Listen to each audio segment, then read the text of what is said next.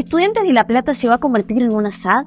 No, te contamos por qué el club platense adoptaría un modelo mixto que abriría sus puertas a capitales extranjeros, pero manteniendo su esencia social bajo una comisión directiva elegida por los socios. Juan Sebastián Verón, su presidente, dice que este enfoque es ni blanco ni negro, es gris. Para Verón, el formato de asociaciones civiles está obsoleto y la prueba de ello son la gran cantidad de clubes en Argentina que afrontan gravísimos problemas económicos. Por eso, apuesta un cambio en poder crecimiento del club. Ese cambio se traduce en la inversión de aproximadamente 100 millones de dólares por parte del magnate norteamericano Foster Gillette que promete transformar el club. Ese capital se destinará a mejorar el plantel profesional, completar el Estadio 1, construir centros de captación de juveniles y desarrollar un polideportivo de alto nivel. Pero ¿cómo recuperaría su inversión? A través de venta de jugadores, shows recitales partidos de los Pumas en uno, eventos como la Noche del León, acuerdos de sponsorship o premios por participaciones en torneos internacionales. Sin embargo, la llegada del magnate genera alguna preocupación. Su paso por el Liverpool de Inglaterra dejó deudas millonarias en ON. Y mientras que algunos piensan que va a ser perjudicado por estar en contra de AFA, otros piensan que podría ser favorecido por el gobierno ya que se transformaría en un club modelo a seguir. ¿Y vos? ¿Qué opinas de este modelo? Déjanos tu comentario.